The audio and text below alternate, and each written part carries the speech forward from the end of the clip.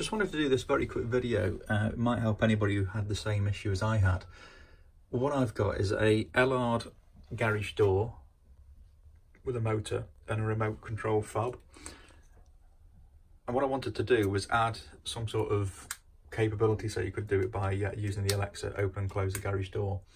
So I had a look inside this unit and I could see that there was these wires on the right hand side that were empty um, and they were essentially for a manual switch or a push button switch which looked like this.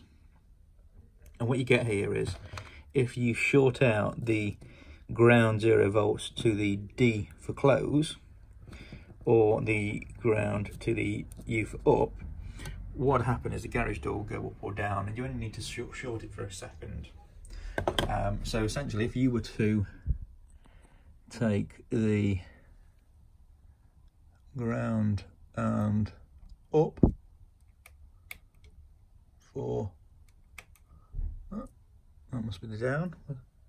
Yeah that's already down that's not going to work. So if you were to take the ground and up you hear it click and the door goes up you then do the same again and do the ground and down and the door would go down so I knew it was halfway there. Next thing I thought of was this, after looking around on YouTube, was you could buy one of these boxes, uh, S on off or a Sonoff. And there's various versions of it. This one I bought was about £28. It's the 4 channel Pro. And this version's got inching mode. Now inching mode is essentially a momentary push button. So you can set it to press a button just for a second which is exactly what you need for these garage doors. You still got the option of using the buttons on the side for up and down. And the remote control still works for up and down. Next thing that I did then was to wire this up. So uh, you can set it up. There's lots of little toggle switches inside. It's all live at the moment, so I won't take the cover off. But there's little toggle switches that you can move with a small screwdriver. And it puts the different channels, one, two, three, four, into different modes. So mode one is door up, Mode 2 is door down. And mode 3 I'll talk about in a moment is about lights. But looking at 1 and 2 first of all, first thing I need to do is give it some power. Now I've done this using 12 volts uh, before uh, and I've just now finally wired it up using uh, the full 240 volts. Um, and you either use small connector, one of those, one of those, where is it? There it is. One of those to go in for the low voltage, or I've actually pulled the 24, 240 volts, sorry, off of the main input into this um, piece of kit. So, channel one, channel two. What I've done here then is I've taken out of here, the options is normally open, the common wire and normally closed. And the connections inside are just little push uh, buttons here and then you can poke a wire in. They're really simple to use and give a good strong hold as well. So the common wire, which is the middle one, I've used a blue wire and I've connected up to the zero volts ground on the garage door opener rather than putting two wires into that same screw, I've just done a jumper between that and uh, on channel one and channel two. Um, but it's essentially the same as running two wires up to that right hand side screw. And then because it's normally open and you want to close it for a second, you use the normally open uh, left hand side. And I've run a brown wire from each. The one for channel one, which is door up, goes to the open, so the far left and the one from channel 2 goes to the third screw which is the close. So the common wire the open and the close. Now what that does is it basically means that the garage door it gets a signal to say open for a second or close for a second and that then triggers all the other stuff. Remote control still works and the buttons on the side still work. With the proper remote control, I think this must have like a rolling code perhaps, um, so it's not programmable. But these units do actually have an option where you can double press. And if you press the remote control, I'm using the other one now, it picks up the signal. But for some reason it's not saving it. So I'm going to work on that. It might be that I need a different remote control. There's loads of different versions on eBay and Amazon so I'm gonna have a little look for those uh, later on and see if I can figure that out because at the moment, the existing remote control, if you press the, it's normally that way, press the up button, it's working, press the down button, it's working. Now that would actually be fine as long as I didn't want to do this next bit, which is to set the lights up to work with this device at the same time. Can close that panel up now because that one's all finished with.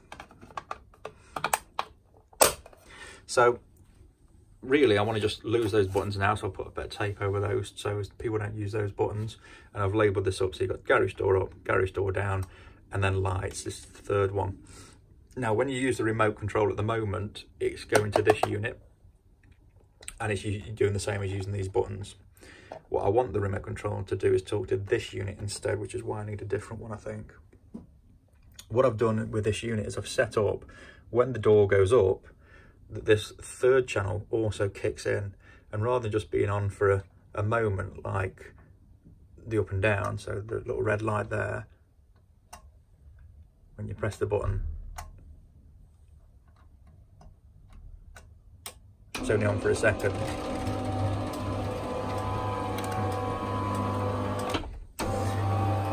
with the lights you can set it to be on and stay locked on and that's just using the dip switches inside when you press it, it's either off completely or on completely. And I've got it set up now, so as when I put the garage door up, not only does it put the garage door up, but it also puts the light on.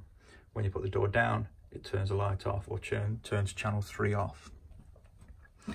So the way I've got that set up in here is I've taken the third channel to a two-way light switch. Now it was a one-way with just a wire going in and out, like that.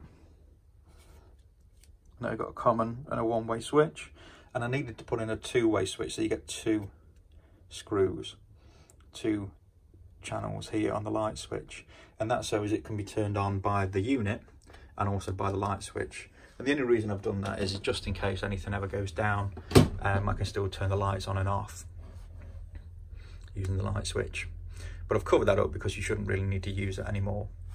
You can turn the lights on and off here or when you open it using an Alexa command or using the mobile device, it should just turn it straight on anyway. But the wiring for this is the common wire comes straight through.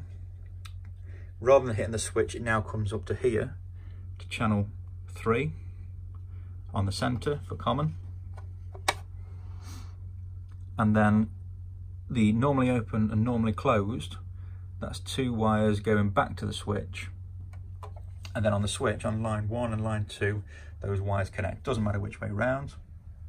And then the original common on the switch, that now is the wire that goes off to the lights. So, looking at a switch, the power coming in, so the live power now goes directly to the center pin of the, uh, the Sonoff. The normally open can go to line one, normally closed can go to line two, and then this common wire here, that's the one that now goes back out to the light unit itself. So now when I tell it through Alexa or by clicking on the button uh, on the phone to turn the door open, uh, the door opens and the light comes on.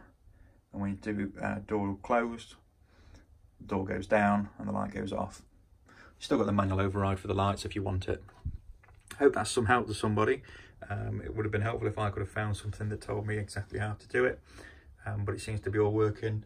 So thanks very much. Okay, so finally I just wanted to show you this working. Um, so the intention here is if I open Alexa on this phone um, but it was the same as if you use it on the device in the house directly or using push buttons or whatever it might be. what I'm expecting it to do is to open the door and turn the lights on. And then when I tell to close the door, it'll be to close the door and turn the lights off. Let's give it a whirl. Open garage door. Audio actions in routine. Okay. So what happens is channel one opens up for a second, channel three turns on. Close garage door. Actions in routine. Selected on this device. So we'll do that again. Watch out for those lights. Should get channel one light will turn on for a second, channel three light will turn on and stay on. Open garage door. Audio actions in routines are currently Close garage door.